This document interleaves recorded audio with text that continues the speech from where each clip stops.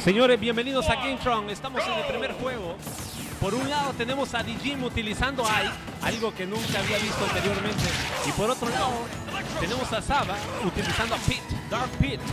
Eso es algo muy cierto. Usualmente Dijim siempre lo hemos visto usando a Donkey Kong, pero esta vez una lección un poco habitual.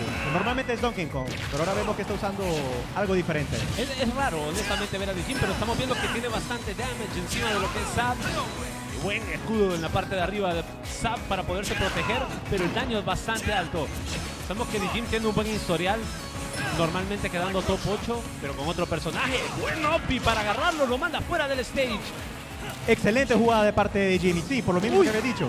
Muy buena, muy buena. Ha logrado mantener muy bien spacing contra ese Pete. Yo creo que tal vez por eso no usó a Donkey Kong, para no estar muy a la desventaja. Ese es el primer stock, buenísimo, forward tilt. Sabemos que mata en un, en un porcentaje cercano, 90%, suficiente para poder acabar con él. Pero vemos de que Sab no se queda atrás y está tratando de hacer el porcentaje de regreso para poder dar buen down throw hacia arriba, lo va a buscar. Sí, eh, The o sea, Sab está teniendo un poquito de problema queriendo buscar una apertura de parte de Jim. Jim le mantiene muy buena distancia, está jugando muy bien neutral.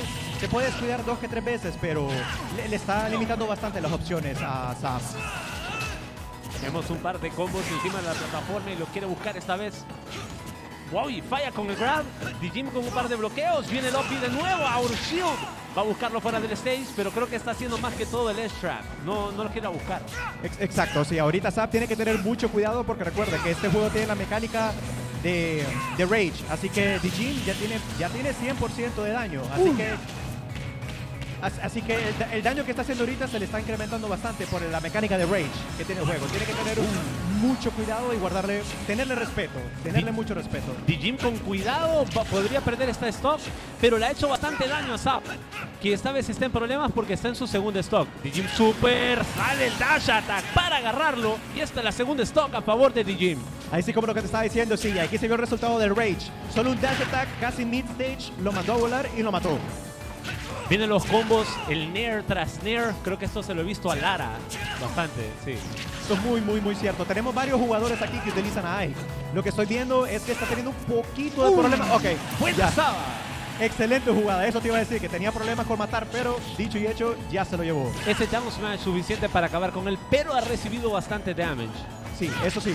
Tiene que tener mucho cuidado. O sea, viéndolo desde este punto de vista, Zap tiene su desventaja, pero tiene el Rage. Tiene cerca de 100%. Así que necesita llevar eso a su ventaja. Poder estar pushando. Eso fue suficiente. Buenísima de parte de Jim llevándose este primer game. Wins. Primer game a favor de Jim, alguien con bastante historial aquí en los torneos. Eh, lo hizo súper bien. No le hemos visto mucho a Like, sinceramente. Jim ha estado un poco perdido de la escena y encontrarlo en estos momentos, pues, eh, con un personaje diferente es sorprendente. Exacto, Dijin tiene su tiempito en estarse mostrando los eventos y sí, como tú habías dicho, eh, normalmente utiliza a Donkey Kong, es bien raro verlo con Ike, pero se le entiende el tipo de elección por el jugador con el que está jugando. Es otro personaje que utiliza espada, es un personaje de bastante rango, así que Donkey Kong realmente estaría un poquito a la desventaja o muy a la desventaja. Pero por lo que estamos viendo, Dijin sabe manejar bastante bien el Ike. Es primera vez que lo estamos viendo en un torneo de este calibre. Comenzamos ahora con el segundo juego y vamos activos en Pokémon Stadium 2. Este, señores, es como el Estadio Olímpico de Honduras para nosotros los Smashers. Y venimos a este mapa con toda la acción del mundo. Bueno, como de parte de Zap agarrándolo, tiene bastante problemas a Dijim. Esta vez que le agarra el down throw y lo quiere perseguir, pero Dijim tratando de resetear ese neutral, haciéndolo bastante bien, pero 70%. Sí, estaba haciendo un muy, muy buen push. O sea, le llegó a llevar 70% más de daño en solo ese combo. Y en un instante, pero lamentablemente... ¡uh! este Air Dodge le va a costar muy, muy feo ahorita al Jim. Tiene que tener mucho cuidado. Uy, ese forward tilt para agarrarlo luego del side. Buena para mandarlo fuera del stage. Vamos a ver si Jim lo quiere esperar. Viene Loki. Falla. Lo tiene en mano tratando de hacer una hard prediction, pero no le sale. Sí, estoy viendo que ahorita de Jim se le nota que está jugando un poquito desesperado. Puede ser por el stock que acaba de perder. Porque mire, utilizo varios OP como en ese instante que no son muy seguros. Sí, y lo está haciendo bastante y ya lo está castigando. Sí, Estoy eh. viendo a Sab como que está leyendo la situación más y lo tienen un poco de problemas. Sab apenas está en su primer stun y por Casi. poco no lo agarra. Por poco no lo toca. Y sí, Sab, estoy notando, como tú dijiste, está teniendo más paciencia. Pero bueno, ya estamos otra vez 2 a 2. Eh, The Jim con 51% de daño. No puede ser muy, o sea, no puede ser mucha la diferencia, ya que Ike es un personaje muy, muy pesado. Cuesta un poco matarlo. Ese dash attack suficiente para acabar. Pero vamos a ver qué tal le va a, a Sab en ese stock. Lo ha hecho bastante bien, ha estado leyendo cómo lo hace. Tiene el rango y la velocidad a su favor. Y pues, eh, como te digo, no le hemos visto mucho de Jim, no sabemos qué tipo de expertise tiene. Buen ese OP. Exacto, Zap tiene que mantenerse paciente porque al principio del juego, no sé si lo notaste, él empezó a leer bastante de Jin. Fue paciente, le respetó su espacio y lo ponisheaba cada mala opción que, que de Jin tomaba. Vamos de regreso un poco de neutro. 100% de damage encima de Ike. Jim que conecta el OP para mandarlo un poco lejos. Vienen los flechazos. Pero no conecta ni uno. Va de nuevo al stage. Esta vez el OP que no puede conectar. Pero el side smash para agarrarlo. Zap llevándose otro stock en contra de Jim. Excelente ataque, esa es la ventaja que tiene que buscar él. buscar a Ike que esté en la desventaja, porque lo que tiene de ventaja ahorita Pete es que es un personaje muchísimo más rápido que Ike, así tiene más opciones que Ike en términos, bueno, en, ese tipo de situaciones. Volvemos a un neutro tranquilo. Zap con la ventaja lo entiende y está jugando más tranquilo. Le está leyendo buen near out of shield con ese parry. Excelente opción, solo tiene que respetarle su espacio. Eso es todo lo que tiene que hacer Zap. Pero la movilidad que tiene ahorita es más a la ventaja. A ver cómo está manteniendo ahí fuera del stage. Uy. Excelente jugada, muy buena presión contra Ai. Mantenerlo fuera del stage lo más que podía. Le afectó la salida de PJ a Jimmy y vemos de que ese side smash fuera del stage. Eh. Ya le está pasando la cu- las cuentas. Bueno, señores, acabamos de ver dos games buenísimos. Zap, después de una. Porque prácticamente Jim conectó todo en el primer juego. Y vino ahorita Zap y le termina, lo termina eh, dándole la vuelta. Vamos ahora al juego número 3, señores. Esto es parte de las reglas, creo que lo saben, pero es el mejor de tres. Vamos al tercer juego. El ganador de este es el que avanza y el perdedor es enviado al Losers Bracket para el repechaje. Exacto, ahorita este es el último juego de este set, aquí donde la presión está mucho más alta, vamos uno a uno, como dijo Sigue, el ganador de este juego avanza y el otro baja a losers. Ahorita estamos viendo que Sab le está dando vuelta a todo este juego, así como Dijim estaba en el primero, Dijim casi siempre estuvo una ventaja. En el segundo juego Sab le pudo dar vuelta a eso. Ahora él estuvo metiendo la presión y estamos viendo que continúa haciendo lo mismo. Qué buenos combos de parte de Zap para agarrarlo. Dijim en bastantes problemas, 78% encima de él, pero viene el uno tras otro. Esta vez el Force Match que no agarra, pero Zap viene con todo. Grab a down throw y lo quería perseguir, pero no puede seguir más. Uppy de nuevo de Ike, que es lo que está buscando fuera de Shield para hacer un poco de damage cada vez más. Zap que regresa al stage, pero ese Fair para matarlo fuera. ¿Será que puede regresar o no? ¿O va a perder ese stock?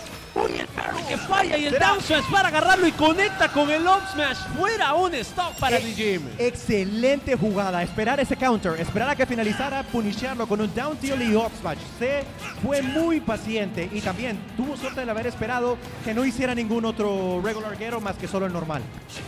Venimos de regreso a la, a la siguiente stock. Zap queriendo tomar la ventaja. Se ven bien las cosas para este de Pete. Creo que, espérate, ¿este es Dark Pete o Pete? No, este es el pit normal, definitivamente. Espérate, vamos a ver atrás porque sale en la pantalla, ¿va? Producción, producción, es Dark Pit. Es Dark Pit. Ahí lo vamos a ver. Venimos, señores, y seguimos con el stage. Parece que Zap ha recibido bastante damage, pero todavía se encuentra en su tercer stock. En efecto, es Dark Pit. Es Dark Pit, ¿verdad? Sí. Ok. Por el color que, que- que eligió Saab en ese instante, como es un color claro, se confundió con el, con el pit normal. Pero si mal no recuerdo, eh, pit y Dark Pit, la diferencia que tiene son como más que todo visuales.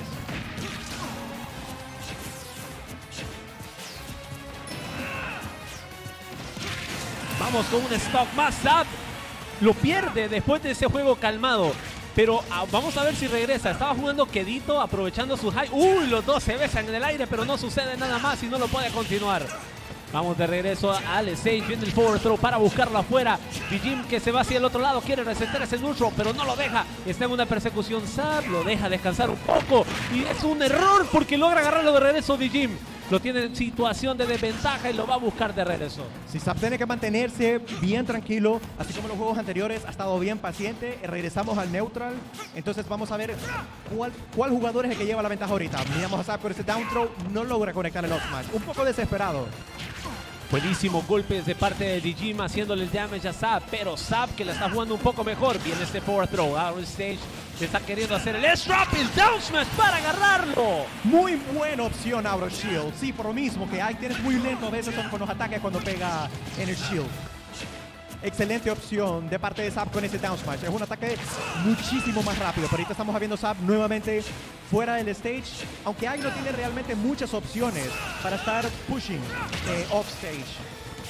Ahora vemos cómo Jim se está encontrando en problemas. Tuvo un primer set, un primer game súper fuerte a su favor. Pero esta vez parece que las cosas no están yéndole bien. No, no creo que este ahí podría estar a nivel del Donkey Kong o del, del Banjo. o del No sé, no sé si realmente es que le ha, le ha sabido jugar un poquito más Uh. paciente. Muy Uy. y lo punició, lo castigó de la mejor manera con un side tilt. Es que es súper alto el, el air dodge. Lo hizo Exacto. demasiado temprano, súper alto. En la caída lo leyó súper bien. O sea, estamos diciendo que tiene otro personaje que no usa, pero a, a la vez la experiencia de jugador la tiene y te sabe aprovechar los errores. Exacto, lo único que, lo único que tiene que hacer es adaptarse con el moveset del nuevo jugador, pero la experiencia de Uh. cómo castigar a los otros personajes sus errores, eso siempre queda. Ragnel con demasiados golpes hacia el otro lado. Podría recuperarse. Estamos en un last stock situation, señores. Esto puede ser. Quedan tres minutos. El forward slash que conecte de Dash Dance. No puede ser. Muy buen forward smash de parte de, de Dijim. Realmente no lo esperaba, no lo esperaba. Yo no, o sea, Jim de la nada saca, porque simplemente fue, está en medio del dash dance, y cuando está en medio del dash dance, regresa para enfrente de él y lo agarra con el forward smash justo en el momento que se tira para enfrente. Solo por un par de píxeles realmente ese forward smash no pegaba. Porque estaba en un muy muy buen neutral. Fue una opción realmente que pocos esperaban de parte de Jim.